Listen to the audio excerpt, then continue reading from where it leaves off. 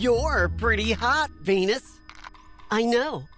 Are you still here? Get off my lawn. You know, surface temperatures are pretty superficial anyway. It's what's inside that counts. Oh, yeah? How's 8,900 degrees Fahrenheit sound? Like I'll need a light jacket and a cup of tea. Hold up, you're talking hot cores. I have one of those.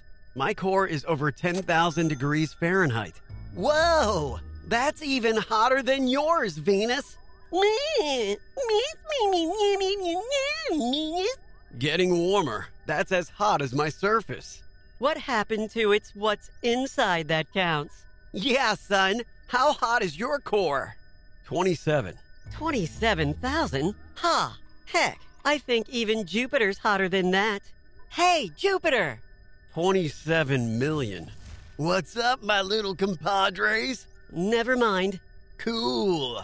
Catch you later. If you're only as cool as the inside of Earth on the outside, why are you so hot?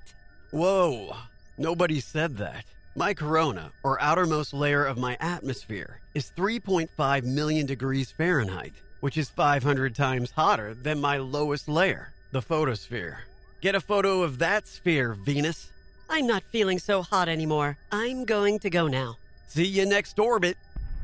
Everything okay over there?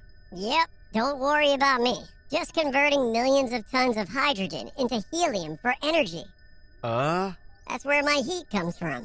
okay. yeah, you're the coolest, Sun. No, I'm the hottest. yeah!